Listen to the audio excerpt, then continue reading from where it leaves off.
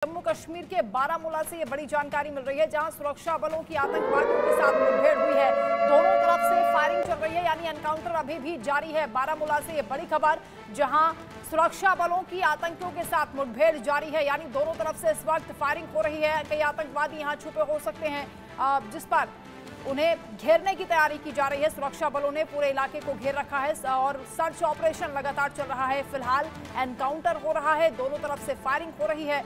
गोलियों की आवाज़ दूर तक सुनी जा सकती है। बारामूला में सुरक्षा बलों के आतंकियों के साथ मुठभेड़। एक के बाद एक लगातार जो घटनाएँ बढ़ती जा रही हैं उसमें आतंकवादी किस मंसूबे के साथ यहाँ पहुँचे हैं?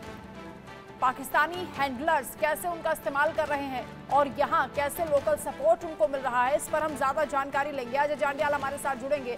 फ़िलहाल ये बड़ी जानकारी बारामूला से आ रही है, जहाँ सुरक्षा बलों के साथ इस वक्त मुठभेड़ हो रही है। कई आतंकवादी यहाँ हो सकते हैं। अजय जांडियाल सीनियर कुलीग हमारे साथ जुड़ गए हैं। अजय, बारामूला में इस वक्त एनकाउंटर हो रहा है। कितने आतंकवादी यहाँ पर हो सकते हैं? क्या इनपुट मिल रहे हैं? देखिए, एक से दो आतंकियों के छपे होने की खबर के बाद इस इलाके में ऑपरेशन शुरू किया गया था। अभी जो ताज़ा जानकारी है, उसके मुताबिक मुठभेड़ जो है वो शुरू हो गई है। इलाके में जो सिविल जो लोग रहते हैं, आम लोग, उनको वहाँ सुरक्षित एक तरफ़ निकाल लिया गया है। वहाँ पर आने जाने के लिए सभी रिस्ट्रिक्शंस लगा दी गई हैं। हालाँकि जानकारी ये भी है कि इनिशियल फायरिंग में जो है, सुरक्षा बलों के एक जवान जख्मी हुआ है, मगर अभी औपचारिक इसकी पुष्टि नहीं हुई है। ऑपरेशन लगातार जारी है कोशिश की जा रही है कि जल्द से जल्द इन आतंकियों का सफाया हो सके। इक्कीस तारीख को प्रधानमंत्री योग दिवस के मौके पर श्रीनगर पहुँचने वाले हैं। ऐसे में कश्मीर में आतंकियों कहीं ना कहीं जम्मू कश्मीर में किसी बड़ी घटना को अंजाम देने की फिराक में है मगर सुरक्षा बल भी पूरे तरीके से सतर्क हैं ताकि किसी भी तरीके से आतंकियों के मंसूबों को नाकाम किया जा सके। जी अजय ये चौथी घटना है कुछ ही दिनों में। बिल्कुल आप सही कह रहे हैं अबुल। जिस तरीके से लगातार कश्मीर में अगर आप देखें जम्मू कश्मीर में आतंकी इस तरह की घटनाओं को अंजाम देने के प्रयास कर रहे हैं। दरअसल आतंकी और खासतौर पर पाकिस्तान बुखलाया हुआ है लगातार शांति आतंक आतंकी घटनाओं का लगातार डिक्लाइन होना और उसके साथ साथ चुनाव जो हुए हैं लोकसभा के, उसमें बम पर वोटिंग होना, ये पाकिस्तान को दरअसल रास नहीं आ रहा। और दूसरी तरफ़ देखिए, जम्मू कश्मीर में शांति और पाकिस्तान में पीओके में हालात जो है लगातार जो है वो संजीदा बने हुए हैं। वहाँ पर लोग भुखमरी से परेशान हैं प्रदर्शन हो रहे हैं।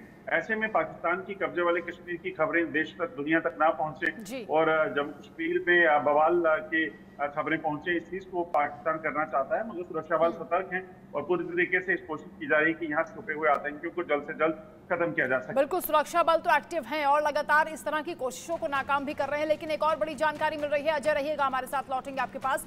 कठुआ के रामकोट से बड़ी खबर जहाँ पर सेना को बड़ी कामयाबी मिली है। कठुआ सांबा बॉर्डर से दो संदिग्धों को पकड़ा गया है। रामकोट में सेना का बड़ा सर्च ऑपरेशन इस वक्त चल रहा है। दो संदिग्ध पकड़े गए हैं। लगातार आतंकी हमलों के बाद सेना का सर्च ऑपरेशन यहाँ जारी है। पूरे इलाके को सेना ने घेर रखा है। सुरक्षा बल बहुत एक्टिव हैं और इसीलिए एक एक आतंकवादी को चुन चुन कर ढेर किया जा रहा है। अजय हमारे साथ लगातार जुड़े हैं। अजय, इससे पहले डोडा में ए के सैंतालीस छीनकर एक व्यक्ति भाग गया था। उसे भी पकड़ा गया है।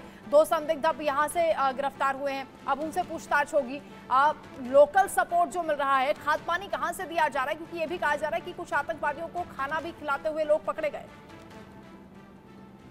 देखिए, जो भी आतंकी जम्मू कश्मीर में सक्रिय हैं, उनके यहाँ पे कोई ना कोई कांटेक्ट या कोई ना कोई टाउट जो है, वो रहते हैं।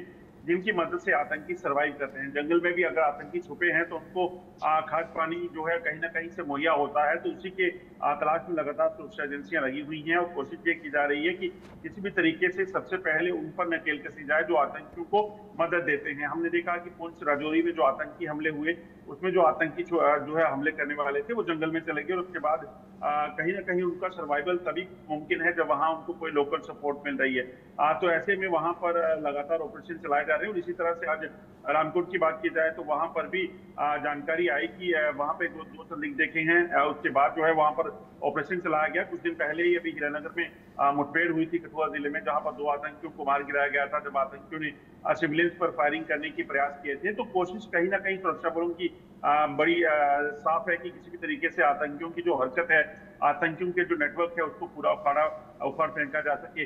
आप देखें तो पिछले कुछ दिनों में जो प्रधानमंत्री से लेकर गृह मंत्री और फिर यहाँ पर जो एलजी प्रशासन द्वारा जो मीटिंग्स हुई हैं उसमें साफ़ कर दिया गया है कि आतंकवाद के खिलाफ ज़ीरो टॉलरेंस जो है उसको बनाए रखना है और किसी भी तरीके से आतंकी गतिविधि कोई दिखती है या उसमें कोई शामिल हुआ पाया जाता है तो उसके खिलाफ कड़ी कार्रवाई की जानी चाहिए। उस चीज़ को लेकर पूरा अमल किया जा रहा है ताकि जम्मू कश्मीर में शांति बनी रहे।